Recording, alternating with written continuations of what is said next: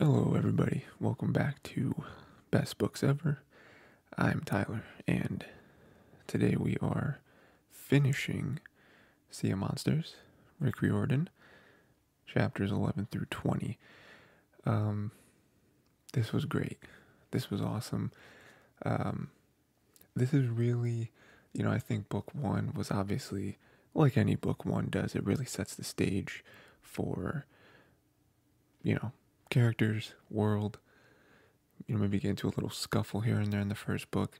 Normally, a lot, not a lot of stakes, right? Oh, that's okay. It's the first book, especially you know five book series, right?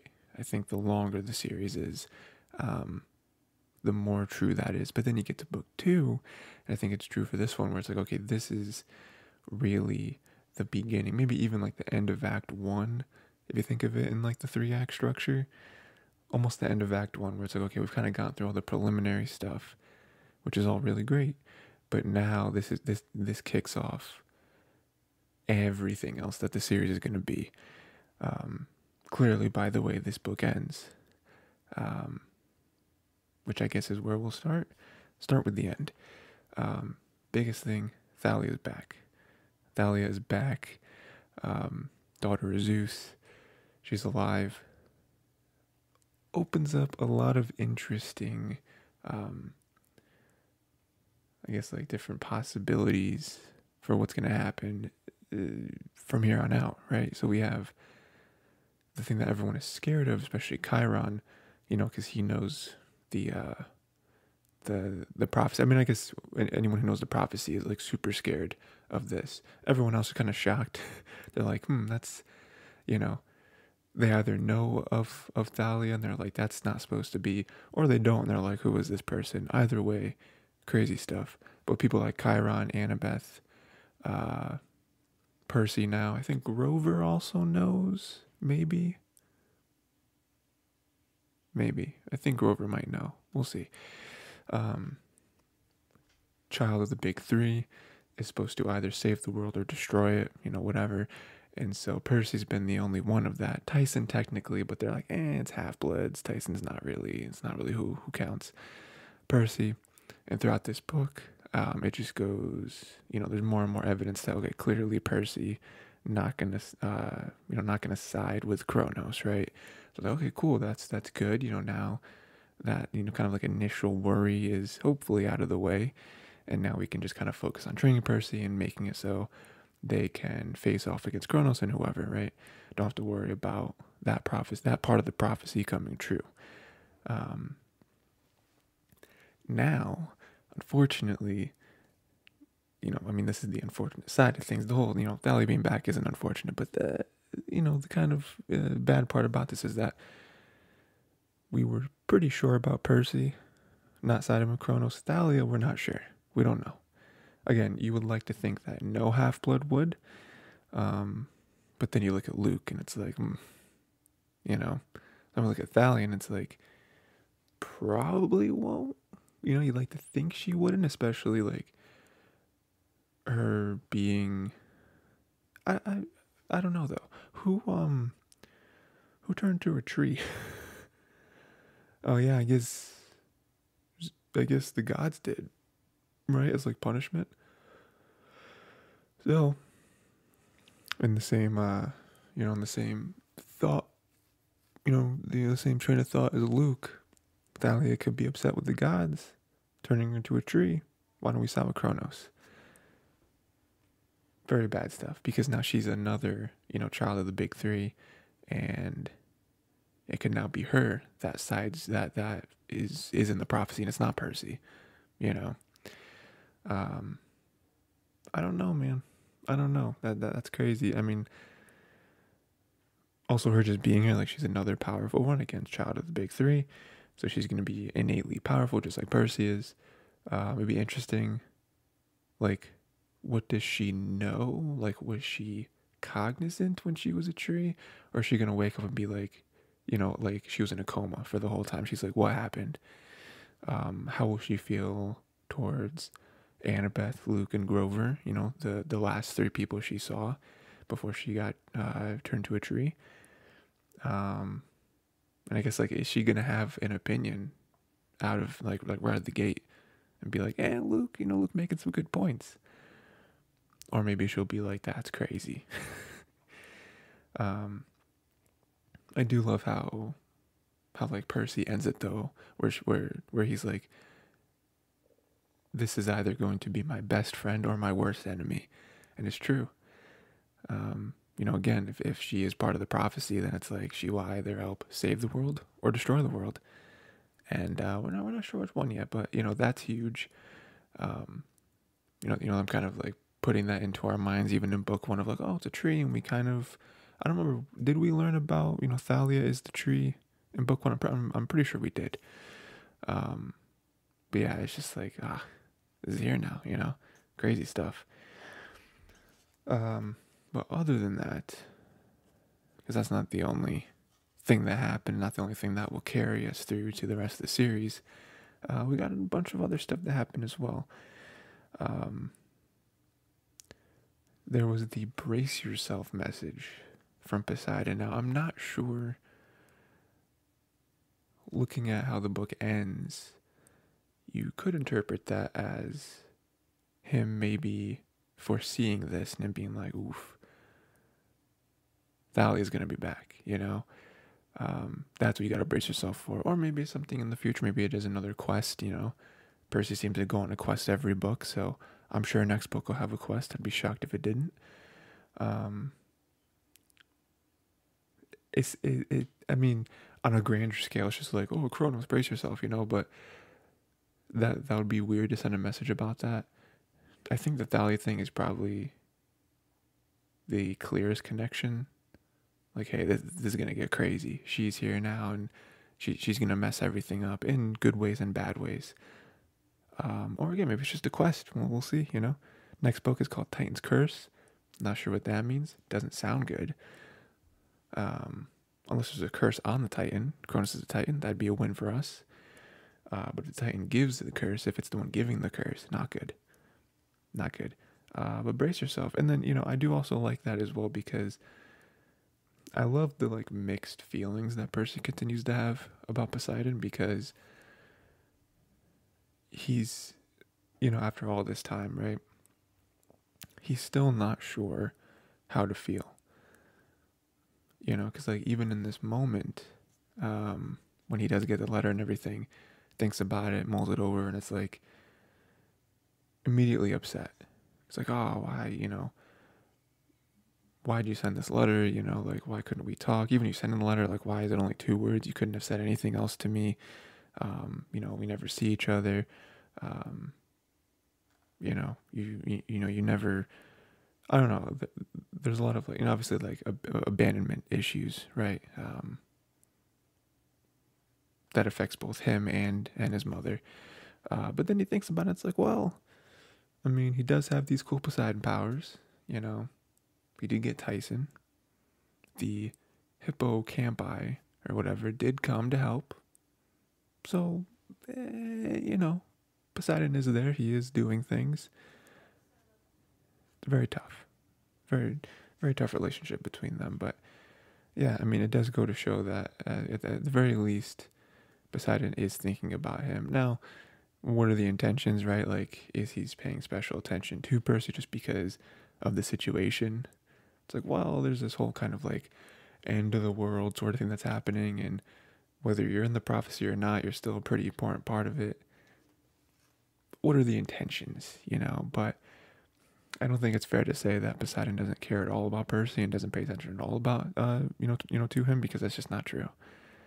Um, yeah, I do love that that that kind of fight though, where Percy the character is not settled yet you know, um, it's cool. Um, some highs at the end. Uh, well, I guess there's some lows, but let's we'll start with something really quick. Uh, Annabeth uh, does kiss Percy on the cheek at the end. Very excited, very caught up in the moment. Um, but I do think you know, if we're, if we're going to get into a whole relationship thing, I, I do think, you know, especially with it starting out with like Annabeth clearly likes Luke, and now that seems to not be the case, even though deep down, I don't think she'll ever stop having feelings for him. At the very least, like wanting him to be good and wanting him to not be on Kronos' Society. You know, we saw her vision and everything. Um, you know, you know, it's like part of her like perfect future is making Luke see reason on her side again. Um, I do think this, you know, this series so far has done, you know, a, a little cliche, but still very, very nice to see. The whole like two people don't like each other and they're at each other's throats or whatever. They, they, uh, you know, they like rib on each other, and then it's like ah, but they, they have fondness for each other. So, um, we'll see if that grows into anything.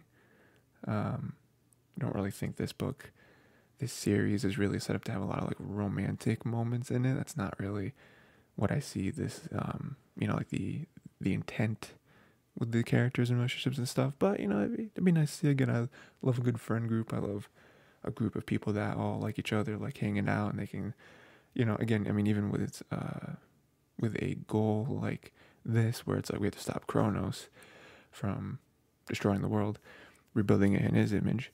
Um, it's very helpful to have a group of people who all know each other so well um, that it helps in like even like battle situations. So um, just a small moment that I didn't remember happened.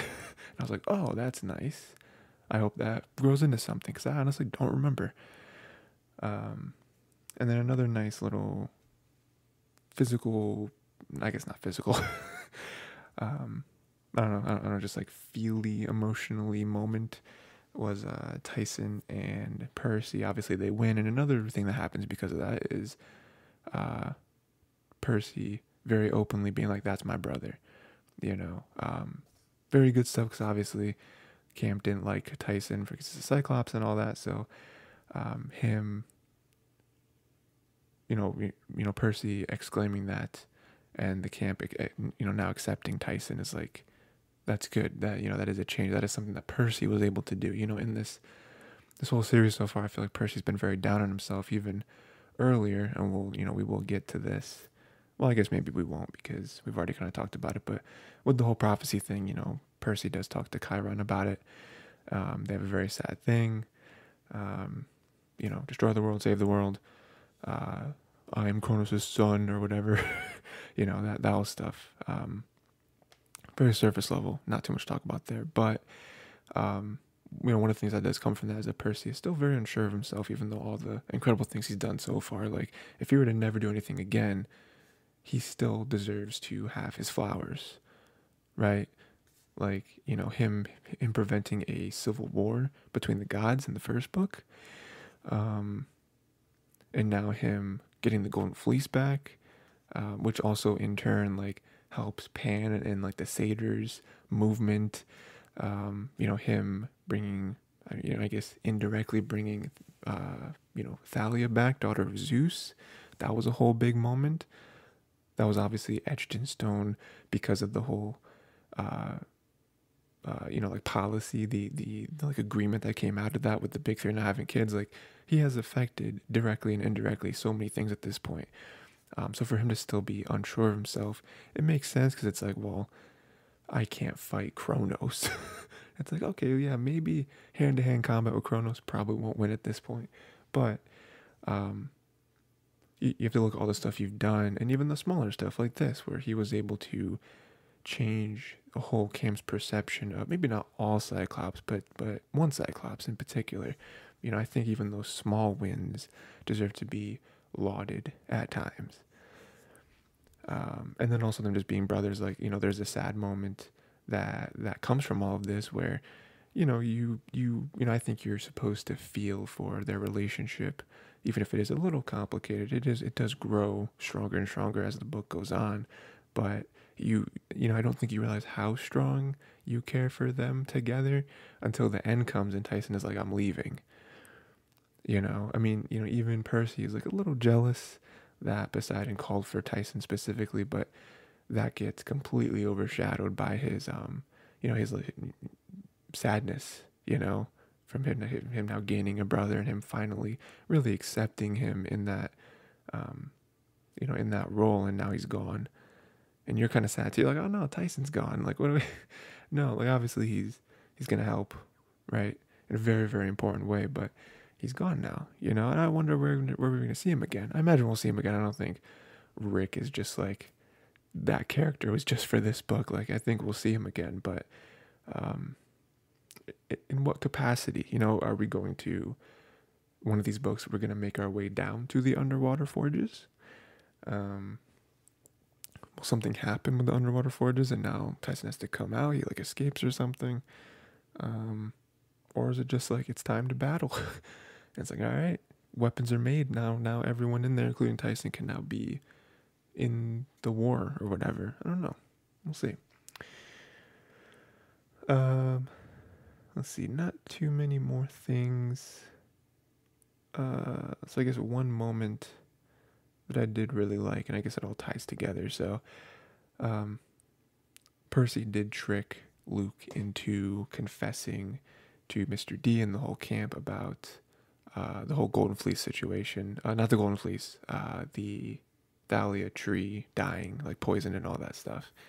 Um, obviously, really great because that clears Chiron's name and also puts even more of a, a target on Luke's back, you know, as if we needed more reasons. Um, but aside from that, I think it also shows how clever Percy can be. Like, clearly in this, you know, this is why I said it ties into another thing I wanted to say, which is Luke definitely almost killed Percy. Like, if the party ponies and Chiron didn't come to save him, Percy, 99% chance would be dead because Luke Luke was about to kill him. He stopped and said, "All right, boys, go ahead and kill all his friends. I want I want Percy to watch his friends be killed, and then I'm gonna kill him." Like like that was about to happen. Um, but but Percy, you know, was able to be clever at least in that moment to get him to confess, get what he wants, all that stuff. Um, I think that just goes to show the. I mean, first off, unfortunately, it goes to show how far apart they are. You know, when it comes to skill. Uh, you know, Percy in the water is formidable, but when he's out of the water, he can't beat Luke. Like Luke just has too much experience on him. He has too much um, I mean, not only training experience, but also like real life experience. Um, you know, then it kind of harkens back to what, what, what Chiron has been on Percy's back for for so long is like train. Like you need to train, you need to get better. Uh, but then that also kind of harkens back to something that Annabeth said, which is, um, you know, she's been in that camp for so long, but out there in the real world is where you get to know if you're good or not. So it's kind of like battling philosophies where it's like, yes, I think Percy does have to train more, does have to get better at combat, but how much does simulated combat really help you versus getting out in the world and being in a real life or death situation? You're, not going to die at camp. You know, campers aren't going to kill each other um, in like a training scenario, but out in the real world, you actually have to fight. You know, and, and that's also when like I'm sure like adrenaline kicks in and everything it's like, oh, this is real. This monster in front of me could kill me right now. Um, so yeah. Um, and then just again, Luke, like how determined he is, like like that is kind of the nail in the coffin. Um, where it's like Luke is not coming back. Like like this is Luke's path. This is the the side that he has chosen, and there's no convincing him. Um, yeah, a lot of things kind of come out of this moment.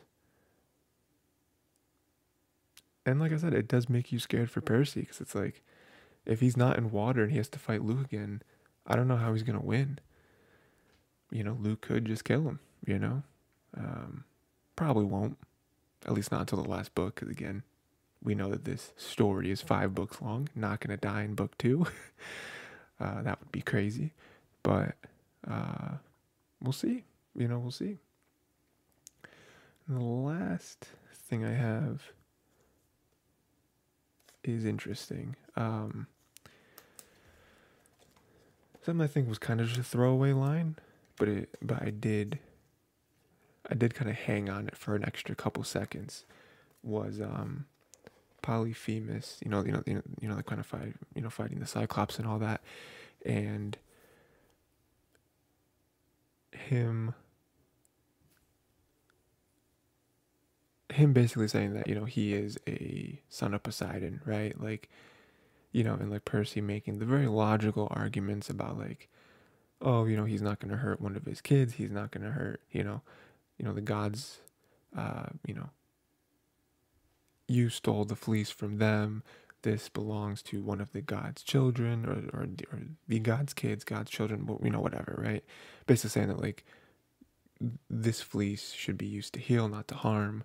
You don't deserve it. You stole it, all that stuff. Very logical arguments from our perspective. Because, yeah, it makes sense. It's like, well, the gods or whatever would much rather have us have the fleece and use it to help their own children and, you know, all, all that stuff. You know, the tree's dying, Camp Half Blood is dying. And Polyphemus makes a great point where he's like, but, but I'm, I'm a child of the gods you know. And again, I feel like it's just a throwaway line.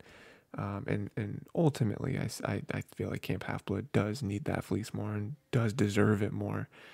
Um, especially with, you know, you, you kind of cross that barrier where it's like he's making good points, but then it's like, oh, he uses the fleece to to lure in satyrs, pretending to be Pan, uh, whether he knows it or not, pretending to be Pan, luring in satyrs to eat them. It's like, eh, mm, mm, you know, well, Camp Half Blood is used to kind of train God, uh, you know, the God's kids, and you know, sort of keep keep the world spinning, all that stuff.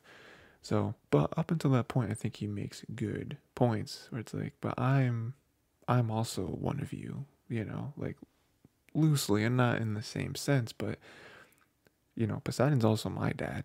Like, why why are you different than me you know? And again him trying to curse percy in the name of poseidon and percy being like well he's my dad. He's not gonna he's not gonna curse me the same way he won't curse you you know? But but then again that's almost percy proving polyphemus's point where it's like on one hand you can't say that we're nothing like you and we're better than you whatever and then on the other hand be like well well we're the same you know? We're, we're both poseidon's kids so your your your curse cancels my curse um, again, I think the logic kind of breaks down once you get to, well, the intent with the golden fleece very different between how Percy would use it and how Polyphemus has been using it.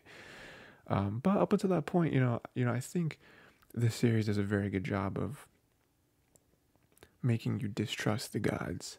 And at the end of the day, Percy and Camp Apple, all that, you know, Annabeth, Grover, others, Clarisse, you know, all, all these ones. It's like you want them to win and you know they are on the side of the gods just pure happenstance right? Because obviously gods are against Kronos, so they'd be you know um, but there are lots of little moments where it's like we may be your children and we may have a common enemy in kronos but we don't necessarily like you. Like we love you because you're our fathers or our mothers or whatever but we don't necessarily like you um, you know, because you even go back to a moment with Clarisse. I don't remember if it was in the second half or the first half. Maybe I already talked about this. I don't know. But with Clarisse and Ares, where where Ares was just like belittling her and being like, "You better do this," you know, you you better not let Percy take this from you. You know, oh, I should have, I should have had one of my sons take the quest or something. And and Clarisse is just like cowering because what is she gonna do? I mean, it's not only her father, but it is Ares, You know, and and Percy sees this and, and and and so from that scene you're just kind of thinking like that's your kid and you're talking to her like and you're and, and you're basically just like using her and again it's Ares, but that's not an excuse you know and then it rolls back to all the other moments where like there's moments where you where I mean you know Poseidon claiming Percy in book one just you know for his own uh you know for his own agenda right? Um I don't know it's all again, the same way, and, and this kind of ties into what I talked about earlier with, with Percy not settling on how he really feels about Poseidon. I like that that has persisted through book two. We'll see book three, book four, book five, whatever, but like, I like that they haven't, um, you know, just like bowed down and be like, oh, well, they're, they're gods. They have their reasons, you know, they, they have to make tough decisions. It's like, well, yes, but also no. Um, they can be wrong and and they can be very selfish and so that's why and again this ties into the conversation that Chiron was having with Percy about the prophecy and, and all that stuff where it's like that's why you you know the royal you when it comes to half-bloods but also Percy in particular you are so special because you are half bloods. You live in both the mortal world and the, I don't know, immortal world, whatever. Um, you know, you, you know, you kind of live in both, and you know, I feel like that is true for what I'm talking about as well, where they're able to kind of ground both of them, both realities. You know, they're kind of able to see both sides. Um, you know, so they're not completely with the humans and how they would think and how they would do things, but they're also not with the gods fully as well. Um, and I feel like you can see that with everybody. Like like Percy and Annabeth, obviously we've seen the most of, and you can see that with both their ideologies. Whereas like we don't really lean one way or the other. We're kind of in the middle. We're kind of trying to carve our own path, um, and we try to take advantage of both of our sides, but we're not like you know again we're not bowing down to the gods, but we're also not completely rejecting them as you know Luke does, right? And you can see how that how that turns out. Again, a, a, a very difference, stark difference in philosophies, and that just brings us all the way to the end again as well, where it's like Thalia, how how is she going to feel? Um, is she going to toss out the gods the same way Luke has? And again, for a very good reason, you know. Honestly, if if, if you look at it from okay Luke's perspective, I think, is weak because he's just like like his Luke's perspective. I feel like is just I want to be special, and I'm not, and so I'm gonna make myself special. And it's like, okay, like I don't know, that that seems kind of selfish because she because he was like, oh, they're they're just putting me on a quest that Hercules has already done. It's like, okay, yeah, yeah I don't know. It, it, it has very much like big family energy where it's like I have a lot of siblings, so now I want to stand out and I feel like I haven't gotten the attention I deserve, and so now I'm just gonna lash out.